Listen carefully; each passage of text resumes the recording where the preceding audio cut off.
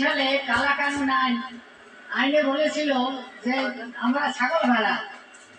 এদের ফেলবে, তারপরে গাড়ি করে পূর্ব বাংলায় ফেলে আসবে। সেটা ধর্মতলায় মিটিংয়ে থামিয়ে গেছে। কিন্তু তোমরা যদি এখন দলবদ্ধ না হও, তা আবার কখন কোন আইন হবে? পড়বে ভালো করিয়া। এরা বসে আছে কিছুতে এদের জায়গা দেবে না। এই জাতকে পছন্দ করে না, ছাগল ভাড়া মনে করে।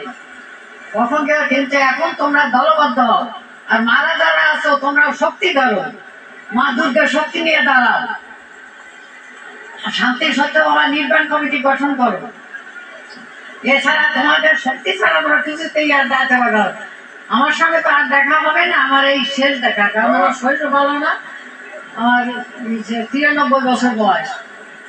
আমি বলে যাচ্ছি, এবং ঠাকুরের কাছে আমি প্রার্থনা করি, তোমরা যাতে করে।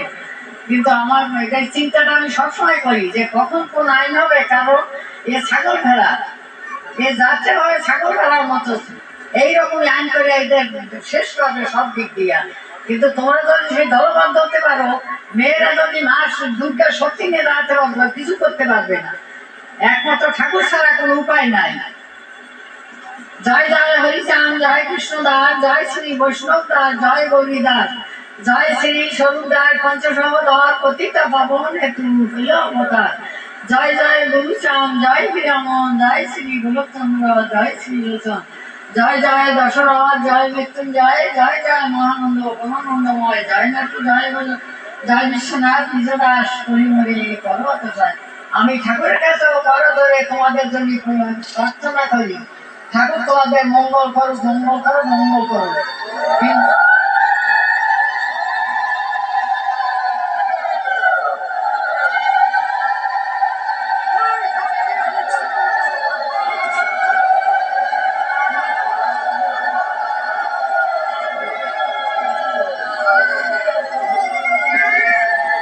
তোমরা এই দমন হয় না।